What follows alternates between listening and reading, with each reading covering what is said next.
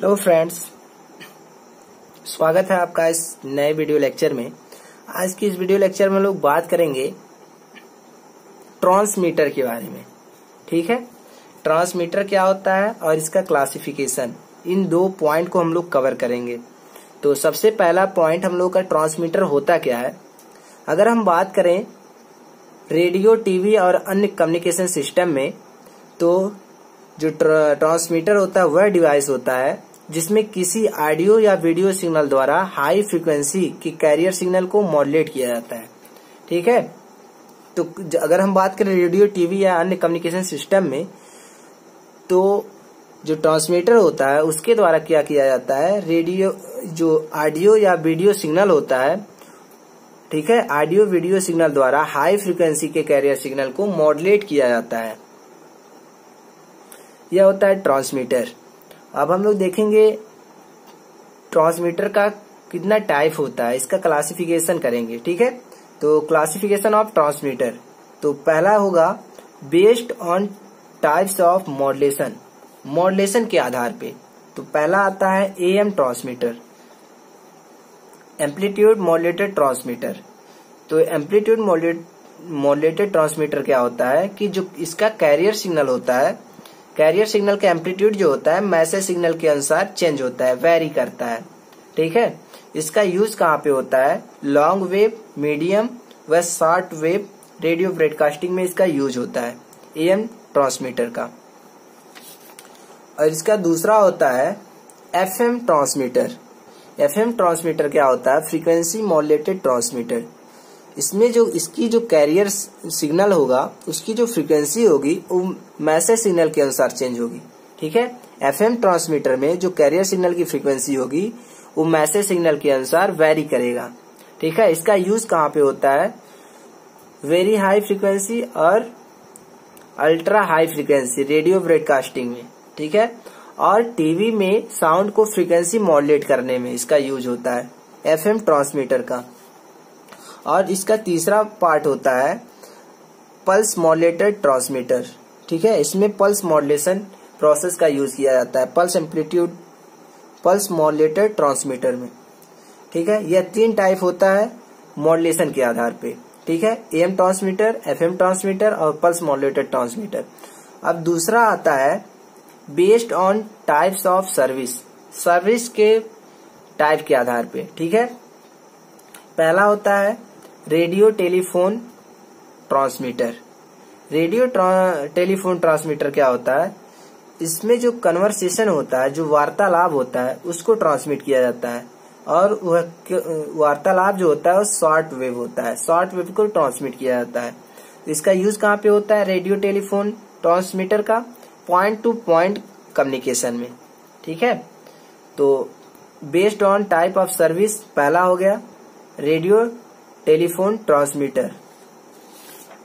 और दूसरा इसका होता है टाइप, रेडियो ब्रॉडकास्ट ट्रांसमीटर। ठीक है?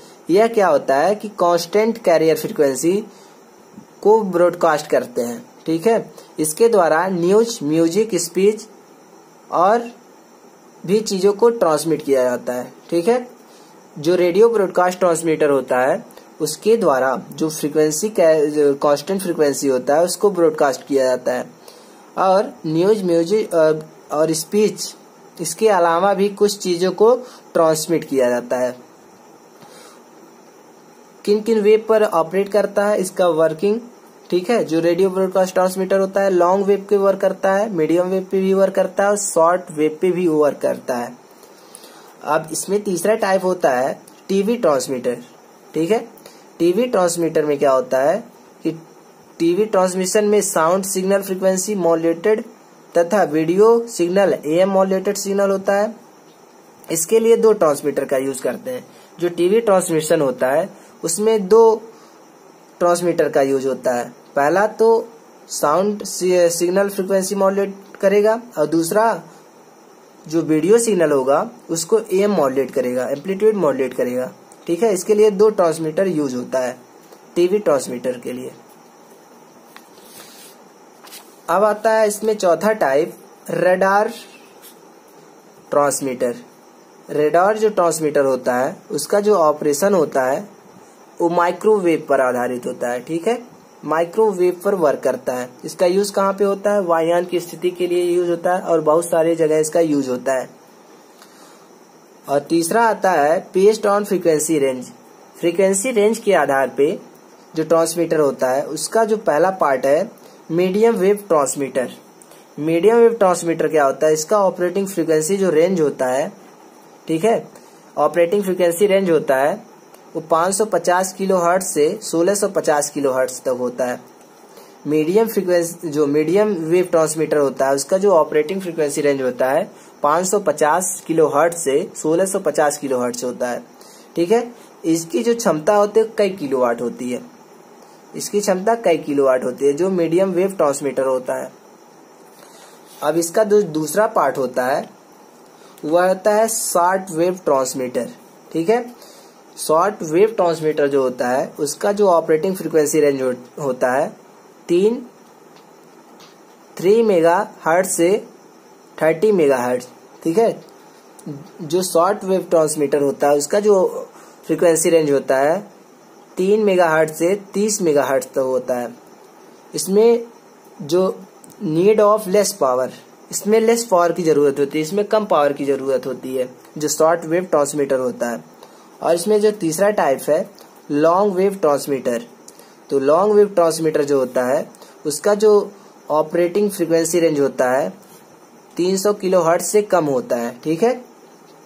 जो लॉन्ग वेव ट्रांसमीटर होता है, उसका जो ऑपरेटिंग फ्रीक्वेंसी रेंज होता है, वो 300 किलो हर्ट से कम होता है। इसका यूज़ कहाँ पे होता है?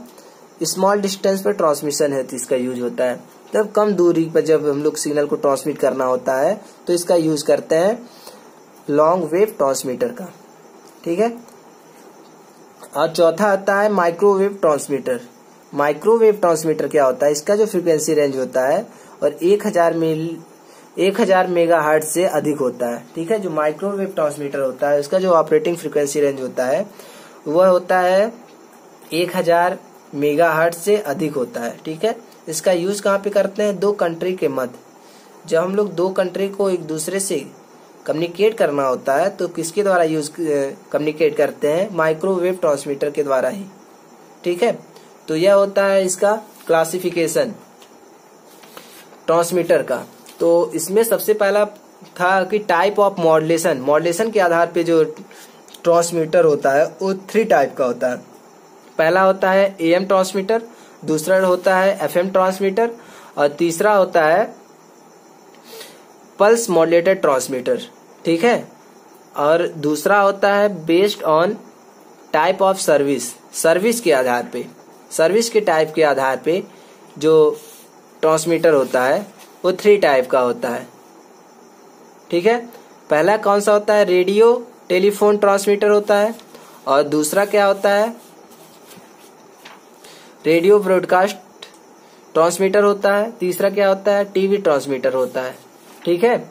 और चौथा कौन सा होता है? रेडार ट्रांसमीटर होता है। अगर हम बात करें फ्रीक्वेंसी रेंज के आधार पे, जो ट्रांसमीटर होता है वो फोर टाइप का होता है। पहला हो गया मीडियम वेव ट्रांसमीटर दूसरा हो गया शॉर्ट वेव ट्रांसमीटर और तीसरा हो गया लॉन्ग वेव ट्रांसमीटर और चौथा हो गया माइक्रोवेव ट्रांसमीटर तो यह था इसका क्लासिफिकेशन ट्रांसमीटर का।